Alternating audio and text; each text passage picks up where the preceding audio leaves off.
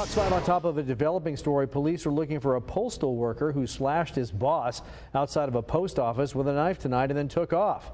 Our Christelle Koumoué joins us live with the latest on this investigation. Christelle.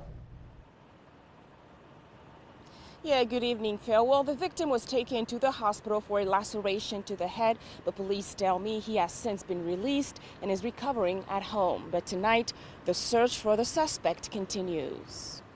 Police got multiple calls of a stabbing Friday evening around 547 outside of the United States Postal Service building on Rancho Carmel Drive. When police arrived on scene within minutes, they found a man with a deep cut to his head. During our investigation, we come to learn that there was an argument between supervisors and an employee of the USPS facility.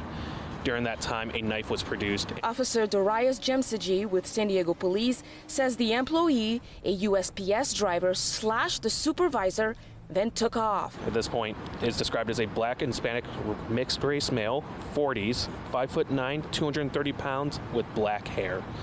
He is known to as he is a known suspect, so we are tracking down on leads to get him in custody. The Carmel Mountain Ranch Post Office also has its warehouse facility on site, which is on federal property.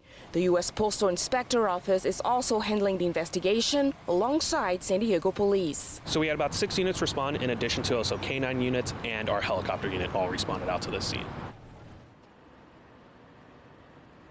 Now, anyone with information is asked to contact San Diego Police or the U.S. Postal Inspector Office. Live in Carmel Mountain Ranch, Christelle Koumoué, Fox 5 News.